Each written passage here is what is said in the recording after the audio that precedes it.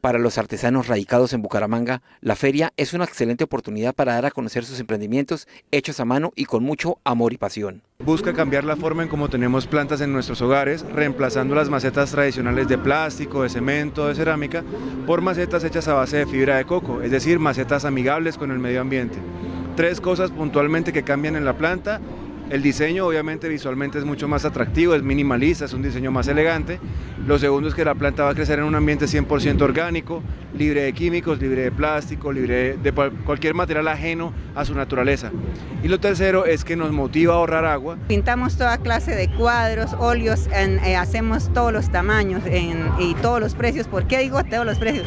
Que ahorita el óleo está costosísimo, entonces nosotros le hacemos desde un barco en adelante, un león, un caballo, todo lo que quiera la persona proyecto ecológico, como le digo yo a la gente, que consiste en que el árbol caído la gente hace leña. Entonces yo, hago cosas bonitas, decorativas, prácticas y utilitarias, como es la definición de la artesanía. ¿sí?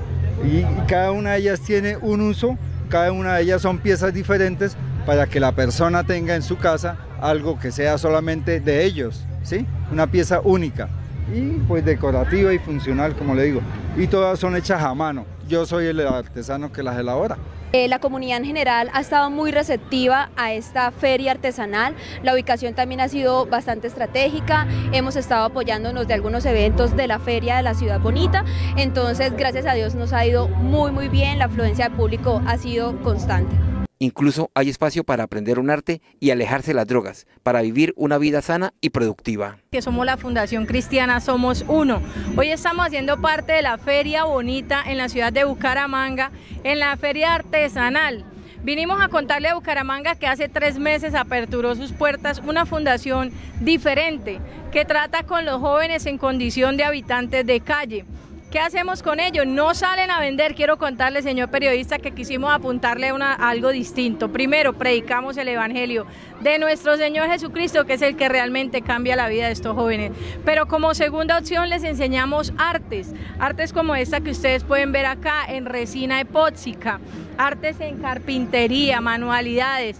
Pero artes que les puedan dar de comer a ellos y sus hijos. Este año la comunidad indígena tuvo una nutrida participación en la feria artesanal. Sus coloridos, llamativos y creativos productos fueron expuestos en más de 10 stands. Pudimos hacer la vinculación de todos nuestros compañeros artesanos. Eh, venimos de diferentes lugares, pero estamos radicados aquí en Bucaramanga. Tenemos indígenas compañeros eh, Misac, indígenas Ingas de Nariño, Ingas del Putumayo, tenemos compañeros indígenas Guayú, tenemos también en Verachamí. Entonces, eh, también la compañera Tinigua es importantísimo porque nos ayuda también a nosotros eh, no solamente a mostrarles a ustedes todo el conocimiento ancestral que tenemos, sino también a mostrarle parte de lo que somos, parte de nuestra esencia y es importante para nosotros que eso sea reconocido porque también nos ayuda a nosotros en nuestras economías propias como le llamamos. La feria artesanal, una excelente oportunidad de reactivar la economía de estos productores de creatividad y talento.